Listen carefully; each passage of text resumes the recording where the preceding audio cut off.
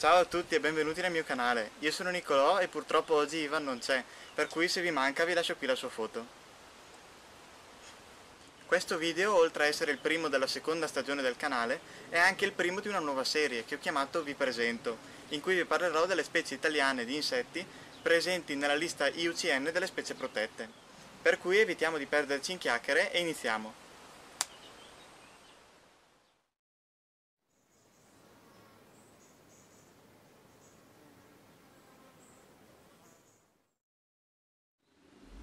Nell'ambito della famiglia dei carabidi, il genere Carabus è rappresentato in Italia da 53 specie, tre delle quali hanno un areale veramente ristretto, e tra queste vi è il Carabus olympie. Si tratta di una specie di carabo lunga dai 3 ai 4 cm, endemica di una piccola parte del versante italiano delle Alpi Biellesi in Alta Valsessera. Il Carabus olympie è una specie in via di estinzione, a causa sia della ristrettezza del suo areale, sia per la sua bellezza, che ha spinto molti entomologi a catturarne un gran numero di esemplari. La colorazione di questa specie infatti è unica nel genere Carabus.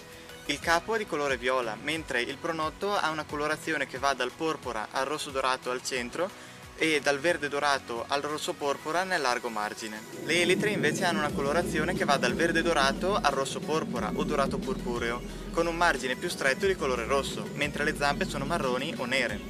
Inoltre ne esistono molte varianti con colorazione differente che forse dipendono anche dall'ambiente in cui vive l'insetto. Insomma, basta questa descrizione per far capire che il Carabus olympie è uno degli insetti italiani in assoluto più belli. Il comportamento di questa specie è simile a quello di altre specie appartenenti al genere Carabus. Sia gli adulti che le larve sono attivi principalmente durante le ore notturne, mentre di giorno rimangono nascosti per evitare la disidratazione. Gli adulti si possono trovare in un periodo compreso tra giugno e settembre e trascorrono l'inverno in uno stato di ibernazione. Sia gli adulti che le larve sono dei predatori di altri invertebrati, soprattutto chiocciole e lumache. L'accoppiamento avviene tra giugno e luglio. In questo periodo gli esemplari di sesso opposto si attraggono grazie al rilascio di particolari feromoni che facilitano il riconoscimento.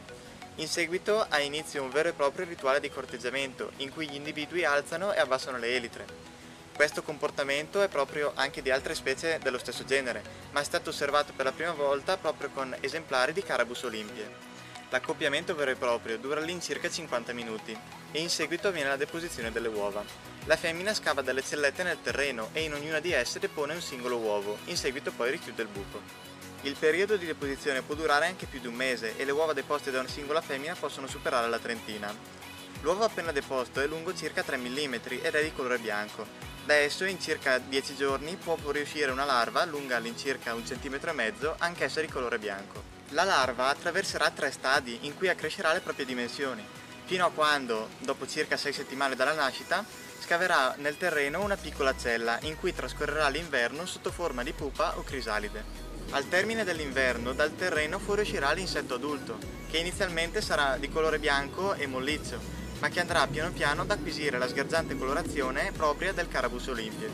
La raccolta del Carabus olympie ora è assolutamente vietata, questa specie, nonostante la caccia incontrollata a cui è stata sottoposta, è tuttora presente in Valsessera e resiste alla diminuzione del suo areale grazie a numerosi interventi volti alla salvaguardia di questa specie. Se questo argomento vi interessa vi invito a visitare il sito del progetto Life Carabus, dove si trovano molte più informazioni sulla biologia del Carabus olympie e sui progetti messi in atto per la tutela di questa specie. Vi lascio il link in descrizione.